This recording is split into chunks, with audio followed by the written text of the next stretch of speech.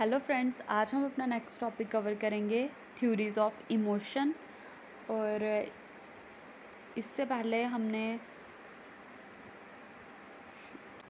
और इससे पहले हमने अपना मोटिवेशन कवर किया था यूनिट पूरा. और उसके बाद अब हम कर रहे हैं इमोशन ठीक है?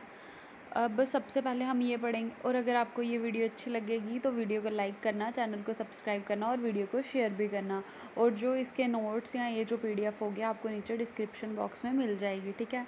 तब हम अब हम अपना टॉपिक स्टार्ट करते हैं। सबसे पहले हम पढ़ेंगे, इमोशंस के लिए कौन सा जो ब्रेन का पार्ट है, वो रिस्पॉन्सिबल है? तो आपका जो ब्रेन का पार्ट इमोशन के लिए रिस्पॉन्सिबल है, वो कौन सा है आपका? एम ए कार्डला ये रहा, ठीक है? ये देखो, ये सैड फेस, स्माइली फेस, ठीक है? तो ये किसके लिए रिस्पॉन्सिबल है ये? इमोशंस के लिए रिस्पॉन्सिबल है। और जो बाकी आपके पार्ट, जैसे ये आ गया आपका कंट्रोल सेंटर कौन आ गया आपका प्री फ्रंटल कॉटेक्स ये क्या आ गया आपका? बेसल गैग्लियान सारी वैलम आ गया, ये ब्रेन स्टेम आ गई आपके नीचे को। ये कॉटेक्स पार्ट आ गया आपका। तो मैं हर एक जो भी हम टॉपिक करते हैं, जैसे क्रिएटिविटी करेंगे मोटिवेशन करेंगे इमोशंस करेंगे तो इसके साथ साथ मैं आपको ब्रेन का इसलिए बताती हूँ, उसका बायोलॉजिकल पार्ट इसलिए बताती हूँ ताकि बायोलॉजिकल बेसिस हमारा साथ साथ में कवर होता चले, ठीक है? इसके बाद आ गया, ये रहा आपका, और जो आपका लिम्बिक सिस्टम है, ये क्या आपका ऐसा रीजन है ब्रेन का जो सबसे ज़्यादा किसके लिए रिस्पॉन्सिबल है? आपका इमोशनल इंटेलिजेंस के लिए भी रिस्पॉन्सिबल है। और ये जो बाकी पार्ट्स हैं, इधर से आप पढ़ सकते हो। हिप्पो कैंपस मेमोरी के लिए है। अमेगाडला आपका मेमोरी के लिए जो आपकी इमोशनल मेमोरीज़ होती हैं, वो भी यहाँ पे बनती हैं। फिर हिप्पोथैलेमस आ गया आपका। ये थैलेमस पार्ट रहा, ये एमेगाडला रहा, ये पीछे हिप्पो कैंपस रहा। ये सैरी वैलम आ गया, ये थैलमस आ गया, आपका थैलमस का बहुत इंपॉर्टेंट रोल है।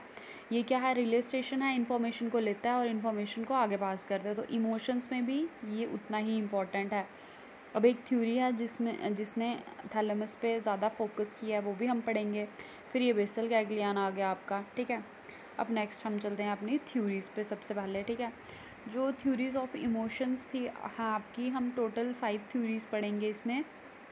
और सबसे पहले आपको ये पता होना चाहिए कि बेसिक हमारे कितने इमोशंस हैं। तो बेसिक हमारे कितने सिक्स इमोशन हैं, आपके happiness sadness fear anger surprise and disgust ठीक है? बट जो लेटेस्ट स्टडी आई है, आप आप गूगल करके देख सकते हैं, उसमें उन्होंने बोला कि ट्वेंटी सेवन इमोशंस हैं हमारे, ठीक है? ये भी आपको पता होना चाहिए। और सबसे पहले इमोशन के बारे में या इमोशन किसने इन्वेंट किया? आपका थॉमस ब्राउन ने, ठीक है? और अगर अब किसी को पता होगा कि फीलिंग और इमोशन में क्या डिफरेंस है तो वो मुझे कमेंट करके बता सकता है। उसके बाद आ गया हमारा इमोशंस में हम क्या क्या इंक्लूड करते हैं। सबसे पहले आ जाएगा हमारा फिजियोलॉजिकल अराउज़ल फिजियोलॉजिकल अराउज़ल क्या आ गया? आपकी हार्ट बीट आ गई। आपका जो भी आपके इंटरनल चीज़ें हैं, जैसे हार्ट बीट आ गई, आपका बीपी आ गया, आपका ठीक है, ये सारे क्या आ गए? आपके फिजियोलॉजिकल अराउज़ल आ गए। जैसे शीवरिंग आ गई ट्रैम्बलिंग आ गई। फिर आ गया आपका एक्सप्रेसिव बिहेवियर जो आप एक्सप्रेस करते हो चीज़ों, जैसे स्माइल्स आ गई। फिर कॉन्शियस एक्सपीरियंस तो इन सबको हम किसमें लेते हैं? आपके इमोशंस में लेते हैं। ठीक है, उसके बाद इमोशंस में क्या इंपॉर्टेंट है? सबसे पहले आपको कुछ स्ट्यूमुलस होना चाहिए, कोई ऐसा इवेंट या ऑब्जेक्ट या थॉट होना चाहिए। फिर उसके बाद सेकंड चीज़ जो इम्पोर्टेंट है, वो आपकी सब्जेक्टिव फीलिंग आ गई। थर्ड चीज़ आपकी क्या आ गई? फिजियोलॉजिकल रिस्पॉन्सेज आ गए या फिजियोलॉजिकल अराउजल आ गया। इसमें आपका हार्ट रेट आ जाएगा ब्रीथिंग आ जाएगी। फिर उसके बाद क्या होना चाहिए कि कुछ ऑब्जर्वेबल बिहेवियर होना चाहिए। जैसे कि एक्सप्रेसिव बिहेवियर बोल सकते हो आप उसको स्माइलिंग क्राइंग ठीक है? उसके बाद आ गया सबसे इंपॉर्टेंट चीज़ कि सबसे पहले इमोशंस के बारे में किसने बोला था? तो सबसे पहले जो इमोशंस के बारे में बोला था, वो आपके किसने बोला था? चार्ल्स डार्विन ने बोला था। ये क्या बोलते थे कि इनका क्या बिलीव था इमोशंस को लेके कि जो हमारे बॉडी मूवमेंट या हमारे फेशियल एक्सप्रेशन हैं, हम जो इंडिविजुअल हैं, वो इसको यूज़ करते हैं कम्युनिकेट करने के लिए, ठीक है? अगर हमें किसी का इंटरनल स्टेट का पता करना है, किसी के इमोशंस का पता करना है तो उसके लिए क्या इंपॉर्टेंट है? फेशियल एक्सप्रेशन इंपॉर्टेंट है, ठीक है? और ये इन्होंने क्या सजेस्ट किया था कि जो इमोशनल एक्सप्रेशन है वो इनिशियली लर्न बिहेवियर हैं, ठीक है? और इन्होंने बोला था कि ये ऐसे पहले मतलब ऐसे साइकोलॉजिस्ट थे, जिन्होंने इमोशन और फेशियल एक्सप्रेशन के बीच का रिलेशनशिप स्टडी किया था। और क्या बोला था इन्होंने? देखो फेशियल एक्सप्रेशन और इमोशन के बीच का रिलेशनशिप इन्होंने स्टडी किया था और इन्होंने बोला था कि ये क्या है? एक जेनेटिकली इनहेरिटेड है और क्या है? करेक्टरिस्टिक्स है इंटायर ह्यूमन स्पीशीज़ की। और इन्होंने ये कंक्लूड किया था कि जो फेशियल एक्सप्रेशन है, वो है सिमिलर है अक्रॉस कल्चर और मेन इनकी जो कंट्रीब्यूशन है, आपको जो पेपर में पूछते हैं, वो किसके लिए पूछते हैं? फेशियल एक्सप्रेशन या फेशियल फीडबैक हाइपोथेसिस के बारे में बोलते हैं। और इस चीज़ को आगे कौन लेके गया था? पहली जो आपकी थ्योरी आती है, आपके सिलेबस के अकॉर्डिंग वो क्या है? जेम्स लैंजे थ्योरी ये किसने डेवलप की थी? William James and Carl Lange ने, ठीक है? इनके अकॉर्डिंग क्या है कि इमोशन हम कब हम एक इमोशनल रिएक्शन या इमोशन को फील करते हैं या कैसे एक इमोशन को हम इंटरप्रेट करते हैं, ठीक है? तो सबसे पहले फिजियोलॉजिकल अराउज़ल होना चाहिए, उसके बाद हमें पता लगेगा कि हम क्या इमोशन फील कर रहे हैं। सबसे पहले कोई इवेंट होगा, इवेंट भी बोल सकते हो स्ट्यूमुलस बोल सकते हो, फिर अराउज़ल होगा, फिर हम उस चीज़ को इंटरप्रटेशन देंगे और उसके बाद हमें इमोशन फील होगा। We experience different event our nervous system develop physiological reaction जब हम क्या करते हैं डिफरेंट डिफरेंट इवेंट्स को क्या करते हैं एक्सपीरियंस करते हैं तो हमारा जो नर्वस सिस्टम है, वो एक फिजियोलॉजिकल रिएक्शन डेवलप करता है उस एक्सपीरियंस के लिए। और उस फिजियोलॉजिकल एक्सपीरियंस क्या क्रिएट करता है? हमें इमोशनल रिएक्शन फिजियोलॉजिकल रिएक्शन क्या आ गया आपका? जैसे आपका हार्ट रेट इंक्रीज़ हो जाएगा बीपी लो हो सकता है शिवरिंग हो सकती है ब्रीथिंग रेट ज़्यादा हो सकता है, ठीक है? उसकी वजह से क्या होगा इमोशनल रिएक्शन इमोशनल रिएक्शन क्या आ गया? फेयर एंगर सैडनेस और भी बहुत सारे, जो भी आप लगा सकते हो तो इधर लगा सकते हो। एग्ज़ाम्पल हम लेंगे सबसे पहले साउंड ऑफ़ गन ठीक है? जैसे कोई शूट की आवाज़ आ गई आपको। उससे फिजियोलॉजिकल रिएक्शन आएगा। Rapid heart rate heart beat बोल सकते हो ट्रैवलिंग सब्जेक्टिव एक्सपीरियंस क्या आएगा? फेयर पहले फिजियोलॉजिकल रिस्पॉन्स आएगा, उसके बाद आपका सब्जेक्टिव एक्सपीरियंस यानी कि इमोशन आएगा फेयर और इसको हमने रीनेम करके क्या बोला था? फेशियल फीडबैक हाइपोथेसिस जो फेशियल फीडबैक हाइपोथेसिस है, वो किसको सपोर्ट करती है? आपके जेम्स लैंजे थ्योरी को सपोर्ट करती है और याद रखना, ये क्वेश्चन बहुत बार पेपर में पूछते हैं वो। और फेशियल फीडबैक हाइपोथेसिस आपको किसने दिया है? चार्ल्स डार्विन एंड जेम्स ने मतलब विलियम जेम्स ने। और इसको हम पेरिफेरल फीडबैक इफ़ेक्ट भी बोलते हैं। और आपका फेशियल फीडबैक हाइपोथेसिस क्या बोलता है कि जो once facial expression directly effect their emotional experience second theory आ गई हमारी कैनन बर्ड की थ्योरी ये कब आई थी? 1994 में। इसको किसने प्रपोज किया था? ये थ्योरी कौन लेके आया था? विलियम वॉल्टर कैनन एंड ये रहे Walter Cannon and Philip Bard ठीक है? और इन्होंने क्या बोला था कि जो थैलमस है, वो इंपॉर्टेंट रोल प्ले करता है। इमोशंस के लिए। रिसीव करता है इन्फॉर्मेशन को इन्वायरमेंट से और साइमल्टेनियसली उसको सेंड करता है कहाँ? कॉटेक्स में और आगे वो कहाँ जाती है आपके ऑटोमेटिक नर्वस सिस्टम में। और जो इमोशनल एक्सपीरियंस है, एक्सप्रेशन है, result from activation of sub cortical centre of brain. अब इधर आ गया आपका सबसे पहले इवेंट आएगा, इसके साथ अरोजल और जो इमोशन है वो एक साथ आएँगे, ठीक है? साइमल्टेनियसली तो होंगे, एक साथ तो होंगे, बट इंडिपेंडेंट होंगे।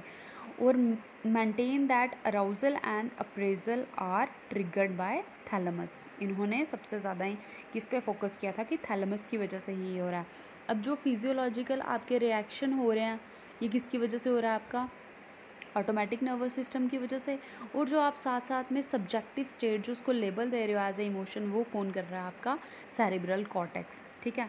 जैसे कि आ गया sound of gun rapid heart heart rate and fear ये एक साथ होगा, ठीक है? जो हमने जेम्स लैंजे पढ़ा, उसमें हमने क्या पढ़ा कि सबसे पहले फिजियोलॉजिकल रिएक्शन आएगा, फिर इमोशन आएगा। इसमें हमने पढ़ा कि दोनों एक साथ आएँगे। थर्ड थ्योरी आ गई हमारी स्केचर सिंगर थ्योरी या फिर हम इसको टू फैक्टर थ्योरी भी बोल सकते हैं। और इसमें टू फैक्टर क्या आ गया? आपके फिजियोलॉजिकल अराउजल एंड कॉगनेशन जो हम लेबल करते हैं। सबसे पहले आ गया इवेंट आएगा इसमें, फिर अराउजल आएगा, फिर हम कॉगनेटिव लेबल करेंगे और फिर इमोशन आ जाएगा, ठीक है? जब आपके पास इवेंट आ गया इवेंट या स्ट्यूमुलस आया, ठीक है? जैसे कि आपको कोई स्नेक दिख जाता है, आप अकेले चल रहे हो अराउजल क्या होगा? एकदम से आपको आपके आगे अगर स्नेक आ जाए, आपकी तो ऐसे सांस ही रुक जाएगी, है ना? या इंक्रीज़ हार्ट रेट भी हो सकती है और डिक्रीज़ भी हो सकती है।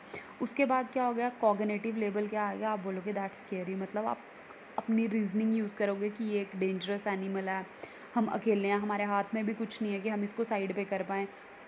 ठीक है?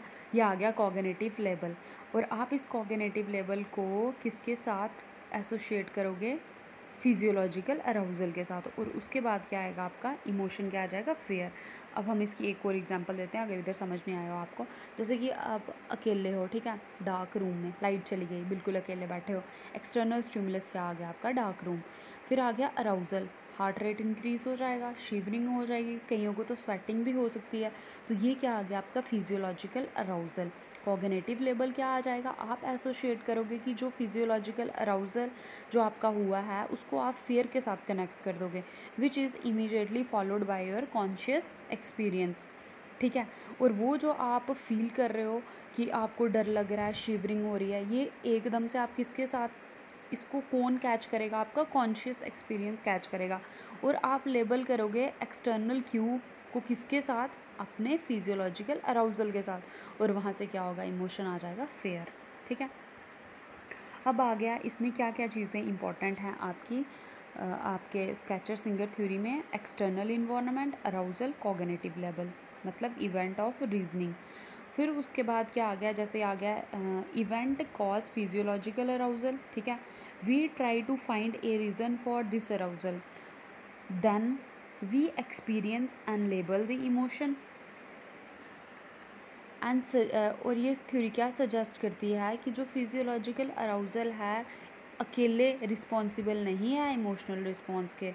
और therefore it take into account the cognitive aspect aspect of emotional reaction अब सिंपल आपको क्वेश्चन ऐसे भी पूछ सकते हैं कि आपके इवेंट और इमोशन के बीच में कौन सी थ्योरी है जो किसको लेके आती है आपके कॉगनेटिव लेवल और फिजियोलॉजिकल रिएक्शन को? आपको पता होना चाहिए स्केचर सिंगर या ऐसे भी पूछ सकते हैं कि स्केचर सिंगर थ्योरी में इवेंट और स्टिमुलस के बीच में कौन आएगा? तो आपको ये भी पता होना चाहिए कि कॉगनेटिव लेवल और अराउजल क्योंकि लास्ट ईयर ऐसा ही क्वेश्चन इन्होंने पूछा था बट वो लेजारस की थ्योरी के लिए पूछा था, और उधर कौन था इंपॉर्टेंट नहीं, शायद इसके लिए ही पूछा था तो इधर क्या था? कॉगनेटिव अप्रेजल था आपका इंपॉर्टेंट उसके बाद आ गई हमारी नेक्स्ट थ्योरी लजारस थ्योरी तो इन्होंने किस पे बात की है? थॉट पे बात किया ये बोलते हैं कि जो इवेंट और इमोशन है या अराउजल है तो वो किसकी वजह से होता है? हम क्या उसमें यूज़ करते हैं? थॉट यूज़ करते हैं। इन्होंने क्या बोला है? Thought must come before an any emotion और फिजियोलॉजिकल अराउजल ठीक है? You must think about situation आप सबसे पहले सिचुएशन के बारे में सोचोगे। जब अगर आप कोई भी इमोशन फील करोगे, उससे पहले आप क्या करोगे? सिचुएशन के बारे में सोचोगे, फिर जाके आपको क्या होगा? इमोशन फील होगा। तीन एलिमेंट्स जो इनके थ्योरी में इंपॉर्टेंट रोल प्ले करती हैं, वो क्या आ गया आपके harm threat and challenge harm क्या आ गया? जो चीज़ हो चुकी है. थ्रेट क्या आ गया? जो आपको फ्यूचर में आपको किसी सिचुएशन को लेके आपको नेगेटिव व्यू है, आपको लगेगा कि मैं इस चीज़ को हैंडल नहीं कर सकता हूँ स्ट्रेस को वो थ्रेट हो जाएगा. बट फ्यूचर की चीज़ को लेके अगर कोई चेंज आ रही है, आप उस चेंज को एज ए चैलेंज एक्सेप्ट करते हो. आप बोलते हो, नहीं, मैं ये कर सकता हूँ. इस चीज़ के साथ कोप करने की एबिलिटी है मेरे में तो वो क्या हो जाएगा, आपका चैलेंज हो जाएगा, ठीक है? इन्होंने transactional model of stress and coping भी दिया था, जो किसने दिया था? लेजारस एंड फॉकमैन ने 1987 में, और उसमें इन्होंने किसकी बात की थी? कॉगनेटिव एंड बिहेवियरल रिस्पॉन्स की। अब इन्होंने दिए थे टू टाइप ऑफ़ अप्रेजल ये आ गया आपके प्राइमरी अप्रेजल और सेकेंडरी अप्रेजल और जो प्राइमरी अप्रेजल है, इसमें क्या होता है कि जैसे कोई न्यू सिचुएशन आ गई आपकी लाइफ में, ठीक है? अब आप खुद से सोचोगे, क्या ये स्ट्रेस लेने की चीज़ है? अगर आप बोलोगे कि नहीं है नो तो आपको स्ट्रेस नहीं होगा। बट अगर आप बोलोगे यस फिर आप सोचोगे कि यार, जैसे एकदम से पेपर आ गया, ठीक है? अभी जैसे एंटी आगे आगे पेपर करते जा रहा है बट एकदम से अगर वो अनाउंस कर दें कि आपका छः दिन के बाद पेपर है और एडमिट कार्ड भी आपके दो दिन में आ जाए तो उधर आपको क्या होगा? क्या आपको लगेगा, क्या मैं इस चीज़ को हैंडल कर सकता हूँ? अगर आपको लगेगा नो तो वो क्या हो जाएगा? थ्रेट बट अगर आपको लगेगा कि मैंने पढ़ा है नहीं बहुत होते हैं छः दिन, मैं अच्छे से मेहनत करूँगा, मैं इस चीज़ को हैंडल कर सकता हूँ तो वो क्या आ गया आपके लिए? चैलेंज ठीक है? तो जो हम प्राइमरी अप्रेजल है प्राइमरी में हम क्या चीज़ें लेते हैं? Refer to the perception of new and challenging environment जो न्यू एंड चैलेंजिंग इन्वायरमेंट होता है हमारा, उसको हम पॉजिटिव नेगेटिव या न्यूट्रल लेते हैं उसके कॉन्सिक्वेंसेज को। सेकेंडरी में हम क्या करते हैं कि हमारे पास क्या कोपिंग एबिलिटीज़ हैं उसके लिए? रिसोर्स हैं। हमारे पास ऐसी चीज़ें हैं कि हम उस चीज़ को अचीव कर पाएँ। ठीक है? ये क्या आ गया आपका सेकेंडरी अप्रेजल उसके बाद आ गई आपकी फिफ्थ थ्योरी कौन सी? अपोनेंट प्रोसेस थ्योरी है किसने दी थी? सोलोमोन ने, और 1982 में दी थी। और आपको अपोनेंट प्रोसेस थ्योरी आपको मोटिवेशन में भी मिलेगी। आप जब आईज़ का स्ट्रक्चर पढ़ते हैं, जब मैंने उधर थ्योरीज कराई थी, उधर भी एक कलर की थ्योरी है, वो भी अपोनेंट प्रोसेस थ्योरी है, ठीक है? तो जो अपोनेंट प्रोसेस थ्योरी है, वो क्या बोलती है? इमोशन की अपोनेंट अपोनेंट थ्योरी आपको क्या बोलती है कि जो इमोशनल रिएक्शन है is followed automatically by an opposite reaction एक अपोजिट रिएक्शन को अगर कोई पॉजिटिव रिएक्शन है, अगर कोई पॉजिटिव आपका रिएक्शन है तो वो नेगेटिव को फॉलो कर रहा होगा। अगर कोई नेगेटिव है तो वो पॉजिटिव को फॉलो कर रहा होगा। जैसे कि अगर कोई इंडिविजुअल इधर हम ड्रग की एग्ज़ाम्पल ले सकते हैं ड्रग लेता है, ठीक है? अगर उसको पहले क्या हो रहा है पॉजिटिव बड़ा नेगेटिव फील हो रहा है, वो ड्रग लेगा, ठीक है? जब वो लेगा, उसको थोड़ी देर के लिए पॉजिटिव फील होगा बट जब वो नहीं लेगा उस चीज़ का असर कम हो जाएगा तो उसको क्या होगा? फिर से नेगेटिव वैसा ही फील होगा। अगर कोई इंडिविजुअल बीमार है, अगर वो दवाई लेता है तो उस दवाई का क्या होगा उस पर अगर मतलब वो कड़वी दवाई है, ठीक है? बट उसका इफ़ेक्ट क्या होगा? पॉजिटिव होगा। तो इस तरीके से आप इसकी और भी एग्जांपल गूगल करके भी देख सकते हैं। खुद के डेली लाइफ में भी एग्जांपल्स देख सकते हैं अपोनेंट प्रोसेस इधर लगा सकते हैं आपके अभी कुछ बच्चे जैसे वीडियो पूरी देखेंगे, कुछ नहीं देखेंगे, कईयों को बोरिंग लगेगी बट कुछ सोचेंगे नहीं हो सकता है इसमें कुछ हमें अच्छा सीखने को मिल जाए। तो वो इस चीज़ को अगर पूरा देख रहे हैं मतलब मैं ऐसे एग्ज़ाम्पल दे रही हूँ तो अगर वो उसको पूरा देख रहे हैं तो क्या होगा? अभी तो मतलब ऐसे अपना टाइम दे रहे हैं खुद को, है ना स्ट्रगल कर रहे हैं मोटिवेट कर रहे हैं कि हम करेंगे बट कल को क्या होगा उसका? पॉजिटिव रिएक्शन मिलेगा। तो इसी टाइप में ये क्या हमारी अपोनेंट प्रोसेस थ्योरी तो थ्योरी ऑफ़ मोटिवेशन है एक अपोनेंट प्रोसेस वो भी यही बोलती है। ठीक है तो इधर हमारी थ्योरीज ख़त्म होती हैं। उसके बाद जो ट्वेंटी सेवन ह्यूमन के इमोशंस हैं, जो मैंने आपको स्टार्टिंग में बताया था कि न्यू स्टडी आई है, वो ये हैं ट्वेंटी सेवन इमोशन आप इनको पढ़ लेना एक बार। नेक्स्ट आ गया हमारा हाँ ये रहा आपका मैकेनिज़्म कि किस तरीके हम मोटिवेट होता है एक इंडिविजुअल अब इस डायग्राम को अच्छे से देखोगे, आपके दिमाग से कभी नहीं निकलेगा कि इमोशन के लिए कौन सा पार्ट रिस्पॉन्सिबल है। और जितनी बारी मैं इतनी बारी हर एक वीडियो में ये ब्रेन की डायग्राम डालती हूँ, अगर आप हर एक वीडियो में दो पार्ट भी इसके अच्छे से पढ़ रहे हैं तो आपके ये कंसेप्ट बड़े अच्छे से क्लियर होते जाएँगे। अब जैसे देखो, एक बार मैं इधर फिर से, चलो इसको बाद में रिपीट करते हैं। सबसे पहले आ गया आपका, जैसे थ्रेट आ गया रिस्पॉन्स टू थ्रेट कैसे होगा? सबसे पहले ये आ गया आपका। आईज़ आ गई आपकी, यहाँ से स्ट्यूमुलस गया, ठीक है? कहाँ जाएगा आपका? थैलमस में जाएगा, क्योंकि थैलमस क्या आपका रिले स्टेशन है इन्फॉर्मेशन को लेता है और उसको आगे पास करता है। इधर से कहाँ चलेगा आपका? विजुअल कॉटेक्स में गया और यहाँ से आ गया आपका एमेगाडला में, ठीक है? उसके बाद इधर से आपका रिस्पॉन्स बाहर आ जाएगा, ठीक है? तो ये है आपका किसका? किसका मकैनिज़म है ये आपका? इमोशन का ही लगा लो। उसके बाद आ गया अमेगाडला किसके लिए रिस्पॉन्सिबल है? Responsible for response and memory of emotion specially fear ठीक है? उसके बाद आ गया आपका, इधर से आप इसको पढ़ सकते हो ब्रेन को। फिर से एक बारी मैं रिपीट करती हूँ, आपका सैरी बैलम है। चलो, अब हम क्या करते हैं? इसको एक बारी रिपीट कर ही लेते हैं, अब हम पढ़ रहे हैं।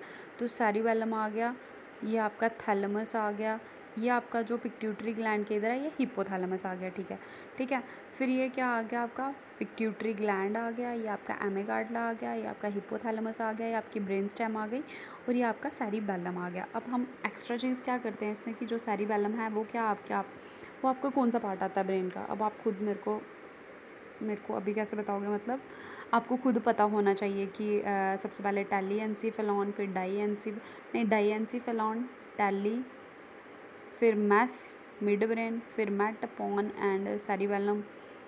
Mes, met and myelencephalon ठीक है? अब ऐसा करके आप हर एक मतलब जब भी आप ब्रेन की एक कोई डायग्राम देखते हो तो उधर आप अपना मतलब रिवाइज़ कर सकते हो कि कैसे कैसे चीज़ें चल रही हैं। इधर आप ये भी कर सकते हो कि इंडिविजुअल का ब्रेन कितनी करंट पे एक्टिवेट होता है तो वो भी मैंने बताया था। उसका वेट कितना होता है? One point three three six K G ठीक है, इस तरीके आप चीज़ों को रिवाइज़ कर सकते हो। जितना रिवाइज़ करोगे तो पेपर में उतना आपकी हेल्प होगी। ठीक है तो ये रही आपकी थ्योरीज़ जेम्स लैंजे में हमने क्या पढ़ा कि सबसे पहले फिजियोलॉजिकल रिएक्शन आएगा, फिर इमोशन आएगा। कैनन बर्ड में हमने पढ़ा कि दोनों चीज़ें एक साथ होंगी। फिर हमने स्केचर सिंगन में क्या पढ़ा कि इवेंट के बाद हमारा क्या होगा फिजियोलॉजिकल अराउज़ल होगा और उस फिजियोलॉजिकल अराउज़ल को हम कोगनेटिव लेबल करेंगे और उसके बाद हमें इमोशन फील होगा। फिर उसके बाद हमने पढ़ा कि लेजारस की थ्योरी पढ़ी, उसके बाद हमने इसमें क्या बोला कि थॉट हम पहले कोई भी इमोशन एक्सपीरियंस करने से पहले हम क्या करेंगे, उस चीज़ के बारे में सोचते हैं। फिर इनके प्राइमरी एंड सेकेंडरी अप्रेजल पढ़े, फिर हमने अपोनेंट प्रोसेस थ्योरी पढ़ी। और सबसे पहले हमने क्या पढ़ी थी? डार्विन की थ्योरी पढ़ी थी। इन्होंने बोला था कि जो बिहेवियर है या कौन सा हमारा जो इमोशन बिहेवियर है या एक्सप्रेशन है, वो हम लर्न करते हैं। और इन्होंने इनहेरिटेंस के बारे में बात की और इन्होंने क्या बोला था कि फेशियल आपकी क्या ये फेशियल फीडबैक हाइपोथेसिस के बारे में भी बात की थी, ठीक है?